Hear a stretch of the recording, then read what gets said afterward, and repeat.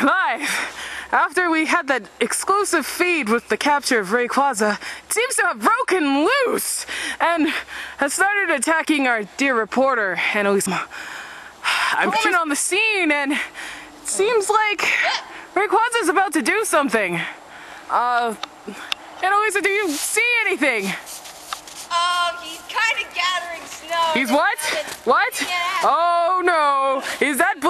I see? Yes, Rayquaza is using Blizzard in a roundabout uh, turn of events. Rayquaza is using Blizzard on Annalisa. Uh, essentially, it's using the uh, snowballs that we tried to capture it with.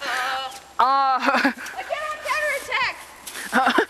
I'd advise you to find a bigger tree, as uh, Rayquaza seems to be gathering energy and is about to use Ice Beam! Yes, that was Ice Beam! Oh lord. More like Ice Ball, but. And it goes down and down and. Uh, I think it's dead. I don't know. I can't tell. Up, it's back up. And still gathering more. Lisa's running, of course.